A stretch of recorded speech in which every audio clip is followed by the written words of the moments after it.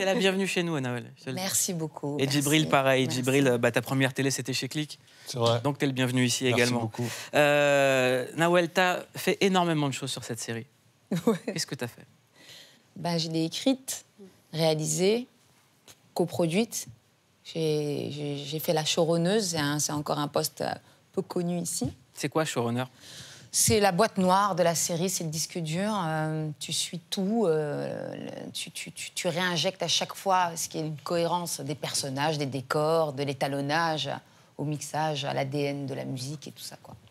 Le titre, c'est une référence à la haine. Bien sûr. Est-ce que ça a été un film important pour vous deux? Pour moi, Ouais. oui. Ouais, bien sûr. Pour moi, c'est celui qui m'a donné envie de faire du cinéma. ouais. Carrément. Ah ouais. Pauline Je crois qu'il s'appelait pas comme ça au début, le film. Il s'appelait Bendo. qu'il s'appelle Ben. ouais. Oui, et comme la reine s'est agrandie, on parle maintenant des médias. De, de- Il y a aussi eu euh, la reine policière qui a pris énormément de place. Ça ne s'arrête plus au quartier. Et du coup, on nous a proposé de- de- D'accord. d'avoir un, un titre plus, avec un spectre plus large. Mm. Et on, on a tout de suite euh, fait un clin d'œil aux mecs qui ont ouvert la porte euh, au cinéma, on va dire, entre guillemets, de, de banlieue. Alors, comment est-ce qu'on peut pitcher cette série? Vous voulez le faire, je crois. Ah non, non. Ah. Bah, c'est l'histoire d'une jeune journaliste euh, qui a qu'une seule envie, c'est de présenter le JTTF1. Et euh, au moment où elle touche euh, son rêve du bout des doigts, son frère va faire une énorme connerie. Elle va devoir une dette et elle va embarquer ses sœurs afin de sauver la famille et elles vont rentrer dans un engrenage infernal. Euh, Vous êtes ensemble à la vie comme à l'écran. C'est pour ça que je suis content de vous voir ensemble tous les deux. Là, c'est une belle histoire. très les deux. rare. C'est très très rare. Ouais. Ouais. Pauline. L'histoire de la rencontre, elle est marrante. Enfin, moi, elle m'a beaucoup amusée. Et euh, on voit pas mal de votre tempérament, euh, Nawel Madani, dans cette rencontre, si j'ai été bien renseignée. C'est que vous avez suggéré euh, que vous deveniez mannequin pour pallier un petit peu, vous étiez un peu en, en déroute dans votre carrière professionnelle footballistique. Je crois que vous aviez eu un était en accident. galère, tu peux dire en galère. J'ai pas osé le dire comme ça. J'ai dit Non, c'est pas vrai. Il Je suis pas avait d'accord. les adducteurs, tu Voilà. connais quoi, le ligament croisé, croisé, croisé. tout ça, Et je crois que Nawel Il Madani disait, je a vais faire une du idée. hand. non, il était dans un bon délire. Nawel Madani a une idée à la Nawel Madani. Elle s'est dit, on va faire un book. Donc elle a tout organisé. On va partir à New York. Tu vas, on va te trouver du boulot. C'est comme ça que ça s'est passé? Oui, euh, bon, c'est un, beau garçon. hein. Moi, dès que je l'ai vu, je me suis J'avoue, il est euh, très beau. Je me dit, tu feras plus d'oseille à faire des Moi, je regarde que par là depuis tout à l'heure. Voilà. Alors que pourtant, euh, je- Je suis hétéro, mais vraiment, il y a voilà, il y a pas de souci, il y a pas de souci. Tant C'est que vrai ça qu'il est ramène beau de ouf, hein. de l'oseille à la Ouais, maison. Regarde, regarde, regarde. Arrêtez de parler Non, comme s'il n'était pas là. Ouais, Non, mais- non, mais la, la- En plus, en vrai, on est à la télé, ça se voit pas, mais il sent très bon. Vraiment, il a un truc où on est attiré, on a envie d'aller le voir, de faire la bise, ça va. Très beau Ah garçon. là là là là, monsieur Moulet d'Achur. Bon Non, la- délire. La, la- la vérité, c'est que c'est vrai, elle m'a, elle m'a poussé à un moment où euh, bah, c'était, c'était, euh, j'en avais besoin peut-être. Il fallait que je fasse quelque chose de ma vie. Et, euh, et je me rappellerai toujours parce qu'on a, à l'époque, on n'avait pas beaucoup euh, d'argent, beaucoup de moyens. Et, euh, et puis, euh, on a pris ce qu'on avait. Elle m'a dit, écoute, va à New York et puis tu essaieras de faire quelque chose. Et puis, j'ai fait euh, une carrière dans, voilà, internationale dans le mannequin. Ouais, on a sorti à l'époque, sur- on avait Google sur Internet, les meilleures euh, agences de mannequins. Et donc, il y, a y Ford qui sort en premier. Je dis, ben, tu vas taper là. Il me dit, mais t'es ouf ou quoi? T'as vu qui ils ont? Je dis, écoute, après, on redescend, mais viens, on commence par celle-là. Mais c'est un peu ça ta philosophie, Nawel? Et il a été, et il, est- il a, il a signé directement. Moi, depuis Eh ben. que je vois Nawel, elle a jamais eu peur d'aller frapper une porte. jamais, mais vraiment. Ou frapper quelqu'un. Ouais. non, mais c'est la vérité. Ouais, ben écoute, euh, là d'où je viens, franchement, euh, nos parents, ils ont tout donné. Comme mon père, il a dit, j'ai traversé la Méditerranée, t'as peur de quoi, toi, maintenant? Je dis, bah, t'as raison, tu vois. Là, aujourd'hui, qu'est-ce que tu veux qu'il m'arrive? Même si un jour, j'ai- plus rien, je retourne chez papa et maman, de quoi tu, qu'est-ce que tu veux qu'il m'arrive? Ils un- ont tout abandonné, tu vois. Donc là, aujourd'hui, il faut tenter le tout pour le tout. En tout cas, c'est ma philosophie, c'est clair. Il y a un moment qui m'a qui m'a beaucoup ému de Nawel, c'était au Mar- Marrakech du Rire, un moment où tu craques. Ouais. Parce qu'en fait, quand t'as craqué, moi j'ai vu le travail. Ouais. En fait, j'ai craqué parce que euh, il y a beaucoup de doutes dans ce métier.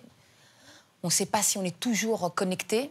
En fait, maintenant avec Internet, il y a beaucoup de choses qui se passent. Euh, je suis devenue maman.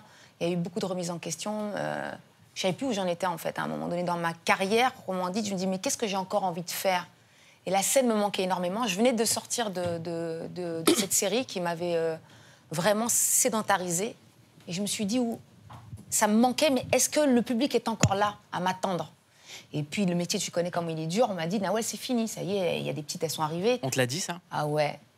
Bien sûr, on m'a dit, ça y est, Nawel, c'est fini. Les petites, elles sont là, elles sont présentes sur Internet, elles sont vives, elles sont partout, et, et ainsi de suite. Et je me suis dit, ah ouais, donc c'est ce qui se dit de moi. Je, je viens, pour moi, je venais à peine de commencer ma carrière, tu vois. Je me dis, déjà, les jeunes, ils me disent ça et tout. J'arrivais, et ça me regardait un petit peu de haut. C'est le game, il est comme ça. Et j'ai fait, euh, OK, bah, je vais venir au Marrakech. Je me, suis, je me suis préparée en trois semaines. Et on a une amie en commun, Émilie, tu vois. Je lui ai dit, viens voir, dis-moi vraiment si c'est bon pour le Marrakech du rire. Moi, je lui ai dit, t'es folle. Quand elle m'a dit, je vais faire Lui m'a Marrakech, dit, le fais pas. fais pas, C'est un peu les Jeux Olympiques, tu vois. faut performer. D'ailleurs, on te dit, ah, tu fais partie des trois meilleurs, des deux meilleurs. C'est vraiment, il faut venir, il faut performer. On monte sur. C'est vraiment le ring, tu vois. Pas, pas dans les coulisses, je parle vraiment. Le public, après, tu te fais défoncer. C'était, tu étais le meilleur passage, ou tu faisais partie des trois meilleurs. Il y a comme un podium, tu vois. Et je suis là, je me dis, ça fait cinq ans que j'ai- pu faire de, de- de- de- de grandes salles comme celle-ci. C'est 3000 personnes à ciel ouvert. T'entends pas le rire, il s'évapore, tu vois. T'es là, tu te, tu- littéralement, tu te, tu te fais dessus, quoi. Et lui il me dit, le fais pas. Super, le mec, tu vois. Il me Non, dit, parce que moi, pas. je voulais qu'elle le fasse. C'était un retour. Donc, si tu le fais, tu le fais bien, en Bien. fait. Il me dit, les mecs, ils se préparent pendant un an, deux ans, ils ont leur spectacle, ils, ils, ils- sélectionnent leur hit. Toi, tu viens, après trois semaines, tu sors de- d'une série. Je dis, je le fais si je sens que ça marche. Donc, je fais tous les clubs de stand-up, je joue neuf fois par soir. Je demande à Émilie de venir me voir. Émilie me dit, mais t'as peur de quoi? Je dis, t'es sûre? Elle me dit. Et je monte sur scène, et quand le public il se met debout, je pleure. Quand tu vois que t'es numéro un sur Netflix, Je pleure. Je pleure. Parce qu'il y a aussi euh, le revers de la médaille, il y a eu énormément de critiques. Euh, euh, et, et moi, je te dis sincèrement, euh, on va en parler juste après. Ah Mais ouais, tu m'as fait pleurer. Mais non, mais non, je t'ai pas fait, je voulais pas te faire pleurer. Mais, mais c'est juste que comment est-ce que toi tu réagis à cette violence-là, qui est pas forcément la même pour tout le monde? Je comprends pas. J'ai fait un projet qui met les femmes en valeur pour moi. Moi, on m'a toujours dit, Nawel, c'est l'intention qui compte. Mon intention, elle était noble. Je voulais parler des meufs de quartier qui se battent, qui se battent pour leurs frères. Leur... des- le- Je parle de tellement de choses, de, de- de l'absence du père, comment, on le peut- comment la place du père est importante quand il part, comment on est perdu, comment ces filles prennent la place. La place de la mère aussi. le- la, place de la mère, magnifique. cette, cette, euh, cette femme voilée qui a peur pour sa fille. Si je la confronte pas à une fille euh, qui, est, qui, est, qui est scotchée, qui, qui est, qui est, qui est, euh, omnibulée par les réseaux sociaux, qui rêve de, de partir de la cité, qui rêve des paillettes, comment cette femme se bat et qui est proche de ses valeurs. Une femme euh, rayonnante, j'ai mis une femme voilée, rayonnante, qui est solaire, qui est beaucoup plus posée que les restes de ses sœurs. Vraiment, je, je- je- je- j'ai Qui s'occupe aussi de ses deux enfants. qui s'occupe de Une son enfant. trisomie. J'ai mis, j'ai mis des, personnes qu'on voit peu à l'image. J'ai mis une, une fille euh, invalide, parce que j'ai un neveu qui l'est. J'ai pris euh, les enfants de Yasmina qui sont en surpoids. J'ai casté des gens qu'on n'a pas l'habitude de voir à l'image. Et pour moi, je faisais un truc, je me disais, ils vont kiffer. Et finalement, ils ont kiffé parce que si tu savais le, mi- les nombres de messages que je reçois des femmes même euh, du Maroc, parce qu'il y a une petite vanne qu'on a fait sur, sur euh, les Marocaines qui font de la sorcellerie. Mais les gens disent ça. Et je, et je pointe du doigt le racisme. Le racisme qu'il peut y avoir euh, en tant que, que euh, fran- enfin, fran- franco-français et en tant, et en tant qu'immigré né en France. Et aussi euh, entre Algériens, entre Maghrébins, entre Maghrébins et euh, Noirs africains. Quand ils disent Ouais, là en soirée, elle se frotte à des Renois, comme si c'était un truc de ouf. Mais oui, on l'entend. Et, euh, et moi, j'ai- j'ai- je, je- je parle de ça. De, quand on écrivait, on était une équipe, on se disait Tiens, il faut, faut qu'on parle un peu de tout. De, de, de- et pas que le racisme qu'on peut rencontrer ou le sexisme qu'on peut rencontrer dans les médias, ou, euh, mais dans le quartier, Mais dans la on, famille. Quand on fait les choses avec sincérité. euh, Ah, mais moi, je dors tranquille. Je te dis la vérité, Ouais. seulement, tu as envie que ces gens-là comprennent ton message. C'est quoi la critique qui t'a le plus blessé? Franchement, euh, c'est quand tu t'entends que tu as stigmatisé euh, davantage. Je veux dire, il y a tellement de projets euh, qui parlent de ça. Moi, je mets les femmes à l'honneur. Elles sont les piliers. Enfin, de ce que j'entends aujourd'hui, des, des milliers de messages, mais vraiment parce qu'on a fait un score extraordinaire sur Netflix. Et c'est ce qui importe le plus, c'est qu'il y a des, des gens qui n'ont pas perçu. Après, mon travail, il est perfectible. Tu vois, j'entends. C'est une Quand première on t'insulte, Mais après, il y a une réalité aussi. La réalité, c'est que c'est pas Internet. C'est ça que les gens ils oublient. La réalité, c'est quand tu quand es dehors, Et que tu es tu dans la rue et qu'on vient et qu'on te dit bravo, c'est formidable et que les gens sont contents. Moi, il n'y a pas une personne qui est venue nous dire euh, ce qu'on ce qu'on Ah des- peut lire. des Donc pour moi, ça, euh, ça compte pas en fait. une femme voilée qui m'a pris dans ses bras, qui m'a dit tu m'as- le fait du juste que cette femme, elle ait choisi sa foi, parce qu'on Mm. on véhicule tellement le fait qu'une femme, on lui a imposé son voile et tout, qu'elle soit libre et qu'elle se batte pour sa fille, eh bien, euh, là-dessus, tu, tu as gagné, en fait. Tu m'as gagné parce que je me suis reconnue. Tu vois? Et après, on comment est-ce que toi tu la soutiens? Parce que je sais que Nawel elle est très sensible. Là elle fait la. Ah non, Ouais, mais je- ça se voit de toute Non, façon. moi, moi, je- j'essaie- de lui dire de pas d'arrêter déjà, de couper, Mm. parce qu'à un moment donné, plus tu regardes et plus ça t'impacte. Tu peux faire. C'est ce lui qui me dit ne lis pas, donc Mais je ne lis plus. pas. Et moi, ce que je lui dis, c'est que c'est pas la réalité, et c'est vrai. La réalité, c'est les retours des gens, et, les- et le, retour des gens, il est, sont po- il est positif.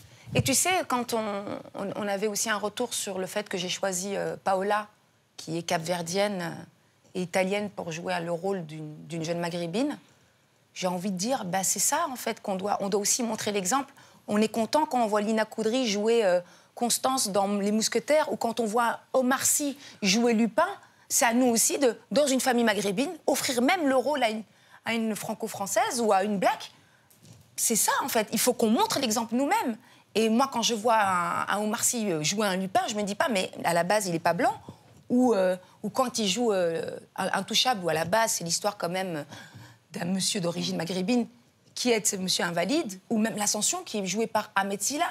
C'est à nous-mêmes de montrer la diversité, a, tu vois. il y a aussi une remarque que plein de, plein de gens ont fait, c'est que il y a eu des films beaucoup plus stigmatisants faits par des garçons, certains qui sont même pas issus des quartiers.